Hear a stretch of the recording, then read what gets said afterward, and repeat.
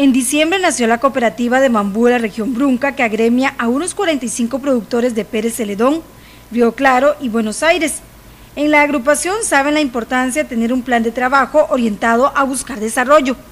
En Bambucop proyectan una pequeña industria para procesar el bambú y darle un valor agregado. Estamos haciendo un plan de trabajo y, lo primero pues es eh, eh, hacer un plan estratégico para la cooperativa, tomando como base eh, la actividad de bambú.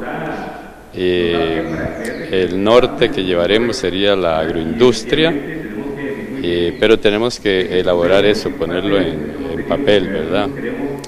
Y luego buscar financiamiento para una primera fase industrial que va a ser, digamos, a pequeñita, a escala pequeña para ir tomando experiencia y conociendo el mercado, los productos, buscando eh, crear necesidades. En primer lugar, lo que buscan es promover la siembra de bambú en diferentes localidades, ya que es la materia prima que requieren para comenzar con la industrialización. Estamos eh, eh, proyectándonos para, en primer lugar, promocionar la, la cooperativa y sembrar mucho bambú porque necesitamos mucha, mucha materia prima y, luego crear la industria.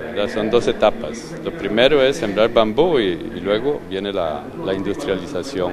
en este momento lo, principal es motivar a los productores. Eso es una, una primera etapa que estamos contemplando en nuestro plan de trabajo es la promoción de la cooperativa y la promoción del cultivo de bambú.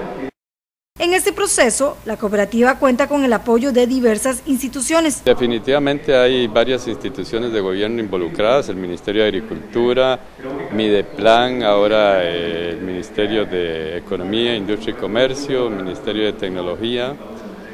Em, estamos viendo la posibilidad de que Limas, INDER también se involucren y estamos en un momento muy bonito porque las expectativas con respecto al bambú eh, son muchas y hay mucha gente interesada y además eh, creo yo como convencida de, de la importancia de este proyecto. Si usted desea más información, puede comunicarse al número telefónico 2771 8569.